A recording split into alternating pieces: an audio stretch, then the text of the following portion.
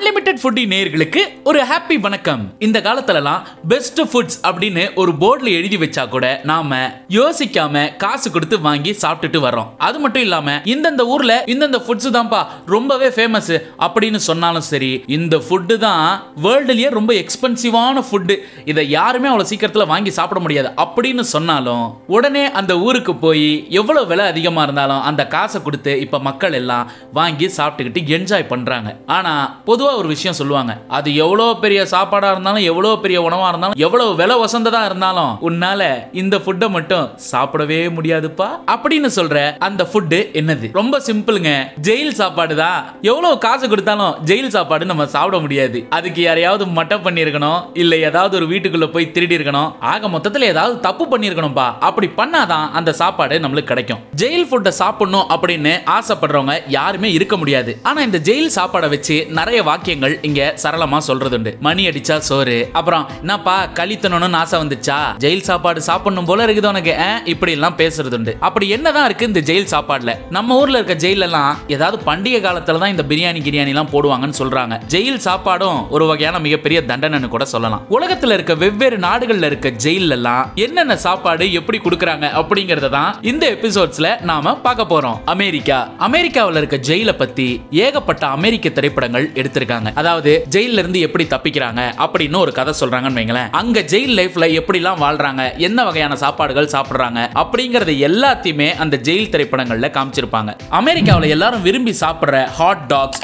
Hamburger எல்லாத்தையுமே அமெரிக்க சிறையில கொடுப்பாங்களாம். அது மட்டும் இல்லாம வெஜிடபிள் சலாட்ஸ் அப்புறம் இந்த ஓட்ஸ் வகையான உணவுகள் இது எல்லாமே அமெரிக்க சிறைகளில் கைதிகளுக்கு வழங்கப்பட்டுக்கிட்டு வருது. ஜெயிலில் எல்லாம் நான்வெஜ் தான்ப்பா அதிகமாக போடுறாங்க. வெஜ்ஜு அதிகமாக போடவே மாட்றாங்க. வெஜ்ஜுக்கு முக்கியத்துவம் கொடுக்கவே மாட்டாங்க அப்படிங்கிறது அமெரிக்காவில் இருக்க சிறை கைதிகளுடைய ஒரு மிகப்பெரிய வருத்தம். அதனால ரெண்டாயிரத்தி பதினாறாம் ஆண்டுக்கு அப்புறமா சைவ சாப்பாடுகளுக்கு முக்கியத்துவம் கொடுக்க ஆரம்பிச்சிருக்காங்க அமெரிக்க அரசாங்கம். அதாவது ஜெயிலில் இருக்கிறவங்களுக்கு வெஜ்ஜையும் நாங்கள் கொடுக்குறோம். எதுக்கு கவலைப்படுறீங்க? ஏகப்பட்ட டிஷ்ஷஸ்லாம் அதில் செஞ்சு போடுறோம் அப்படின்னு சொல்லியிருக்காங்க. அது மட்டும் இல்லாமல் அங்கே லோ சுகர் உள்ள சாப்பாடு அப்புறம் லோ சால்ட் உள்ள சாப்பாடு இப்படின்னு தரவரிசையாக பிரிச்சும் அங்கே இருக்க கைதிகளுக்கு தரப்பட்டு வருது. இந்த சாப்பாடுன்ற ஒரு விஷயத்த பார்த்தாலே அமெரிக்காவில் இருக்க குற்றவாளிகள் எல்லாம் நம்ம ஊரில் இது நம்மளுக்கு நல்லா தான்ப்பா இருக்கு அப்படின்னு சொல்லி ஜெயிலே டேரா போட்டுருவாங்க போல இருக்கு. அடுத்து கஜகஸ்தான். அமெரிக்க சிறைகளில் உணவுகள்லாம் நல்லபடியாக வழங்கிட்டு வராங்க அப்படின்னு சொல்லியிருந்தோம் இல்லையா? ஆனால் இந்த கஜகஸ்தான் ஊரில் சிறை கைதிகளை ரொம்பவே சித்திரவதைக்குள்ளாக்கி தான் பாதுகாத்துட்டு வராங்களாம். கஜகஸ்தான் அப்படிங்கிற ஒரு மலைகள் அதிகமாக இருக்க ஊருன்னு சொல்கிறாங்க மலைகளுக்கு நடுவுல மிகப்பெரிய ஜெயிலெல்லாம் அந்த ஊர்ல இருக்கு. கொடூரமான கைதிகள் எல்லாத்தையுமே ஒரு நானூறு ஐநூறு பேரை சேர்த்து ஒரே ஜெயில அங்க வச்சிருப்பாங்களாம். அந்த ஜெயில இருந்து யாருமே வெளிவர முடியாத அளவுக்கு பயங்கரமா யோசிச்சு மூளையை போட்டு புடிஞ்சு ஓ இப்படிலாம் இவங்க தப்பிச்சு போவானுங்களா? சரி அங்க ஒரு அணைய கட்டு இங்க ஒரு கேட்டை போடு அப்படின்னு எல்லா இடத்துலயும் நூக் அண்ட் கார்னர்ஸ் பார்த்து தப்பிச்சு போக முடியாத அளவுக்கு அங்க பாதுகாத்துக்கிட்டு வராங்க. பாதுகாப்பு அப்படிங்கிறது எல்லா ஜெயிலுமே இருக்க தான் செய்யும். ஆனா இவங்களுடைய கண்டிப்பை உணவு முறைகள்லயும் இங்க காமிச்சிட்டு வராங்களாம்.